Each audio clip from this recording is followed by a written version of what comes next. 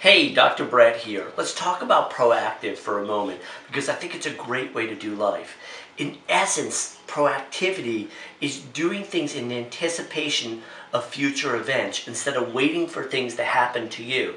So for instance, many Americans have very, very little savings. As a result of that, if they lose their job, they're within 30, 60, 90 days of bankruptcy. If you're super and proactive in life, you're going to put away money in anticipation of future challenges or difficulties, and you're never going to be in a situation where you're 30 days away from starvation. So that's a great example of proactivity. I think it's a great way to live. Thanks for watching.